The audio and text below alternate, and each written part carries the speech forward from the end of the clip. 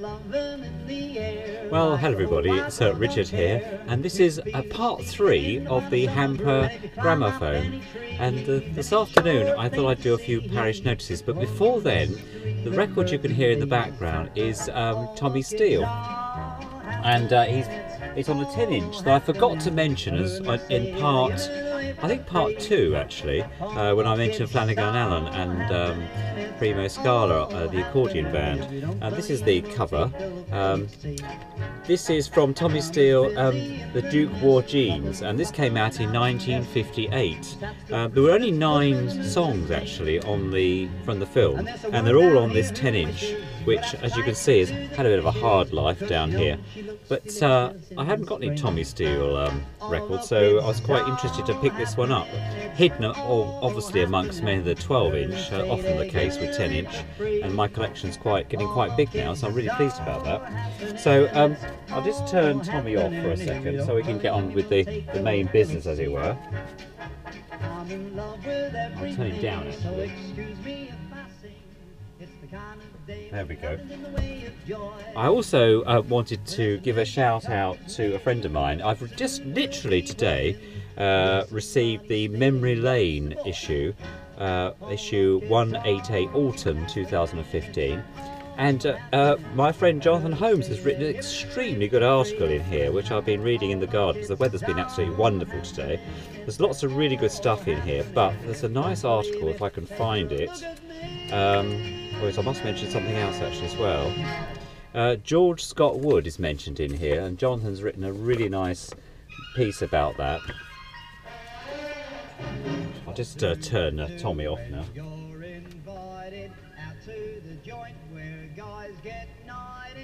There we go. Um, the other thing in here that I thought was anyway really really interesting is there's a nice article by a chap called where are we Simon Broadley who's written an article about Al Bowlly's first wife Rita Roberts and a very tragic end to her. She actually committed suicide by putting her her uh, head in the gas oven and um, which I thought was a really sad end. She also was very much um, addicted to heroin and drugs and um, after having a you know a fairly um, fairly charmed life I suppose though she was only married to Al for a matter of days so it seems um, fell from grace. And um, Simon's done a really good job researching her life so um, so I definitely advise um, getting hold of a copy of Memory Lane if you're interested in dance band music as always the other thing to mention is that the Memory Lane event is also taking place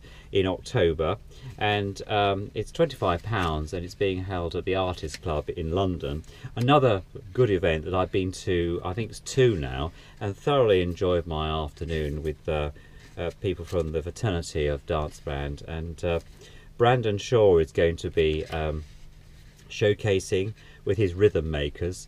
And also, if I can just find the place, it's always the same whenever I whenever you're looking for something. There's a where are we? In here. There's a flyer about it which I was reading about.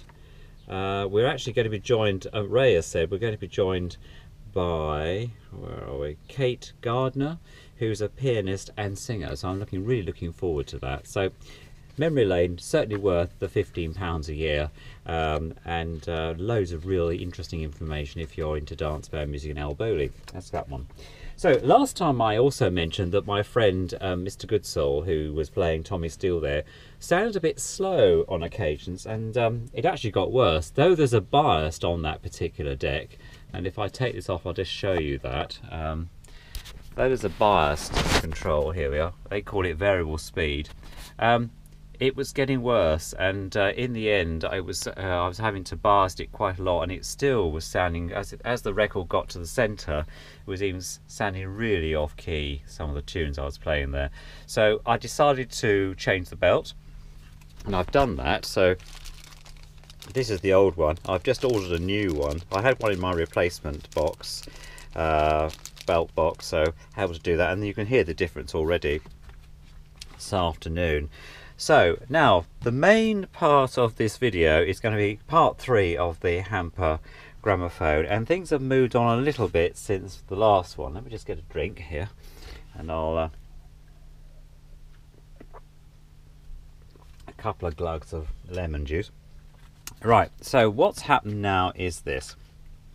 Remember last time we had this piece of MDF and the horn was in the process of being um, painted and de-rusted. That's now complete and is now in place. This is just temporary so that I can see the spacing because the spacing is quite critical. I think I mentioned that last time to the whole process and uh, making sure that everything's in the right place so that um, when it fits into the casing, which I've done some more work, um, it all all works out. Um, I've fitted the brake now. The only thing about this is that the brake, if it goes back too far, it actually fouls the turntable underside. So this is the turntable underside. And you can see there these these sport these strengthening uh, pieces here built in. If it comes back further when it's being when the brake's being taken off, it catches on these. So what I've had to do is do an adjustment. So with i I'm putting a small a small screw in there which actually just stops it fouling as you go back. So you can't go further back than that. But it works very well. I've managed to work that one out quite well. So that's in place. If I just turn this over you can see the spacing a bit better. So that I worked it out just about right. So everything's in the right place now. So it's now screwed in place. This of course I'll when I paint this um, boarding uh, probably varnish a nice dark mahogany brown colour I'll take all this off. The motor the Garrard number 20 is here. And you remember I had to level up to make sure this came out at the right place. Um, and this obviously the motor needs a good old clean and refurb which I'll do. And though I've given it a full wind I haven't actually tested it out on anything. Um, the other thing is that I've sourced the tone arm. So the tone arm will go there. And I've made some holes to put the screws in. So that's that part. And then I've also did some more sourcing because the other thing I need to do is obviously find a little um, support for the end of the gramophone where the horn comes out. So I've just started cleaning that. There's a nice brass ferrule there um, which has a rubber bung inside which is there. That fits in there. Because I'm going to use the short this is the short turnings handle and I'll show you the reason why I'm going to use that as opposed to the longer one because these are there's a difference here. If I just move those two things out of the way um, that one and that one. So because it would depend of course on where the end of the screw comes and I'll explain that a bit in a minute later. The other thing is of course I need to have something to support the tone arm so I've managed to find in my spare parts box this little hook arrangement which will fit quite nicely. And then this will fit on the back of the box which I'll show you shortly. And then I'm going to make another hole to, uh, about the size of the of this one and where the tone arm fits I think it'll probably be about the same size with the screw saw the hole saw which I'll go in there which I'll probably put here for the needles to go in. So that's what we've done so far. Oh yes, and I put the uh, the, the gauge for 78 fast and slow on here as well because I had to work that out remember. So that's all the stuff on the motorboard which is looking good. The other bit I have done is with the actual um, casing. Now with this I've now put in the side supports, these side supports here and um, if I remember rightly, when I said last time I did a video number on number two, it's quite critical that you make sure that there's enough room to put the horn in because this is the front end. You'll notice there's a, a, a hole here, and I'll explain about that. Obviously, that's where the gramophone winding handle goes through. Um, so these are now in place, and um, I had to reduce the size of this side a little bit because when the gramophone goes in, when it goes in, which I can probably show you, if I do like that, there we go, I won't push that down because I'm doing some other work on there. Okay, so the motor board will fit in here, and it's probably fouling a bit because I've just done some other work, and I'll explain about that in a second on filling in the, the wood holes and that. Um, so it will fit quite nicely in there. The other thing I had to do, of course, was line up where this hole was going to come. Now that's a bit of that. I thought that's going to be a bit of a challenge. So what I did, I I measured. What I did, I measured the distances from where the actual winding mechanism is. You notice I put a mark on there so I could see it. Once it was actually sitting inside on these supports, and then I measured from the inside where the marker was, where it was coming, which you can just about see here, a line, and then I put a bradawl in there. Um, where are we? I'll show you the bradawl. I thought this was quite clever actually, probably isn't for most people, but was I put a bradawl with a nice big point on it in the middle, and then that it went through the wood, and then I, it went straight into the centre of the winding mechanism link up, and I knew I was in the right place then.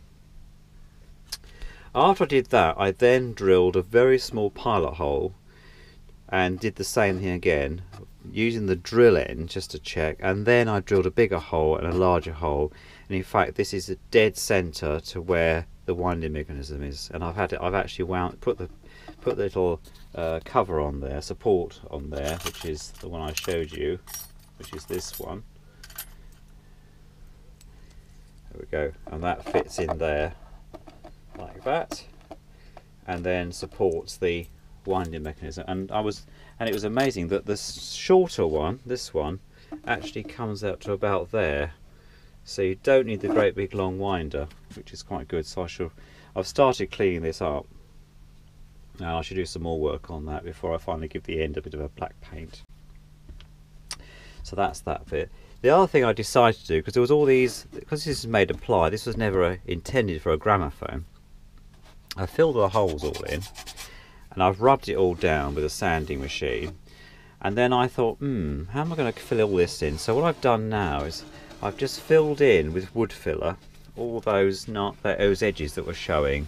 And I'm going to then sand this down finely use some very fine sandpaper. And then obviously the whole thing will be varnished uh, with a nice gloss varnish um, including the supports because these are put in with and these screws I had to be careful because obviously the distance between here and the outside is quite critical um, whether you know to make sure you don't put the screws through the through the side of the casing. So that was a little bit of a, a organisational bit too. So anyway getting back to this bit so I'm going to rub all this down and then once that's been done I will then varnish it. And I've done the same with the lid. Here's the lid? And the same thing here just filling all the holes in sanding it down um, and just taking all the rough edges of it so all in all it's actually coming along very well now. I'm quite pleased. Um, and uh, quite an exciting project. Um, having never done anything like this before from scratch but just using parts. Um, it was interesting just to note that on eBay I noticed that there was a, a, gramophone there, really a really nice looking gramophone, case gramophone, with some run, really nice light wood um, with nice marquetry inlay, and um, it was made of parts, just made of parts like mine here. But obviously, the gentleman or whoever made it has taken a lot of time and effort to uh, to take, you know. So I mean, they're they are out there and uh, they're quite unique machines actually and uh, you know that's uh, I think a bit of a plus so the other bit also just to men quickly mention is these screws I mentioned last time so these are the little brass screws I'm going to be using um, for the catches these are the rear hinges these will be the rear hinges the original ones I can't see any reason why I won't be using these so that's that will be the top and that so I can see those reused and I'll probably find places to put the catches on. I might actually get a gramophone side strap handle actually as well which would be quite nice depending how things go. So there's those screws and I also got some round headed ones as well home base. So there we go. So that's that little bit. I'm using the Ronseal wood filler. This is the dark colour as I said earlier. Um, I think that's about all today that's about all I've been doing. So, uh, yes, oh, quite a lot really happening. And uh, thank you all for watching and uh, look forward to your comments.